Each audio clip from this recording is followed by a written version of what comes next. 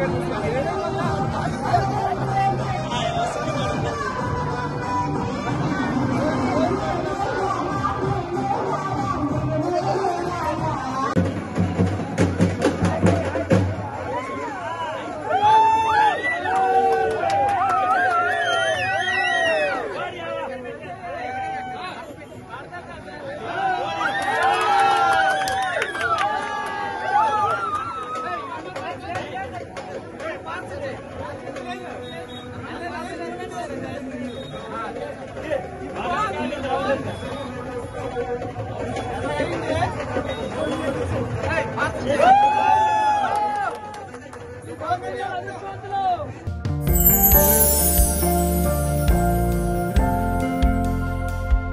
Love.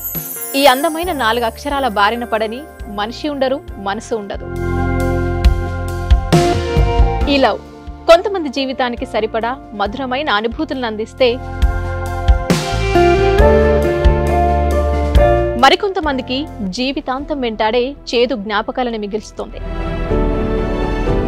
Laila Majnu Parvati Devdas. ఈ రెండు కథల్లో మజ్ను లైలా ప్రేమ కోసం ఎంత పరితపించాడో విన్నాం.